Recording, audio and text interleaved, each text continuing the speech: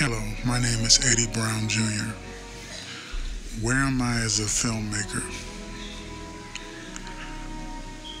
I've been a filmmaker for now 20 years. I graduated with an AS in um, filmmaking in 2000. And since I've made three features um, of my own, and I've also worked on five other feature films as either a director of photography or an editor. Um, but I've edited over nine projects total.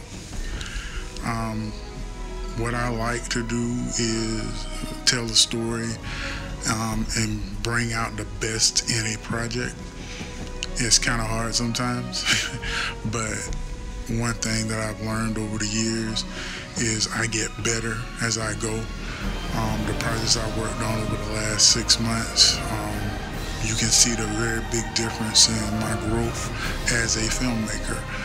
So now um, one of my key things is editing and um, color grading.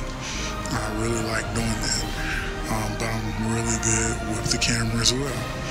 So I think me as a filmmaker now, I am in a different place than where I was, you know, 20 years ago.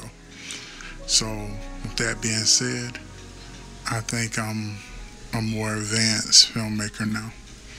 Thank you.